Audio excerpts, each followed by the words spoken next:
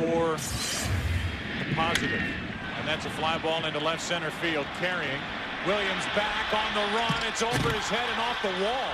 And nearly out of the park. Garciaparra will turn, go to third. The throw is terrible. Into the seats.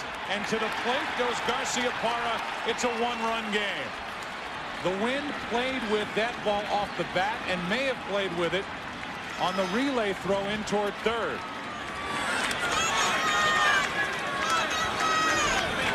That throw looked like game one of the American League Division Series with Soriano. Airmailed one into the stands, but there is no question that the wind aided and abetted that mm-hmm. fly ball.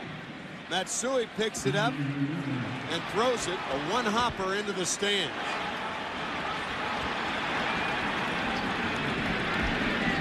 It's a triple.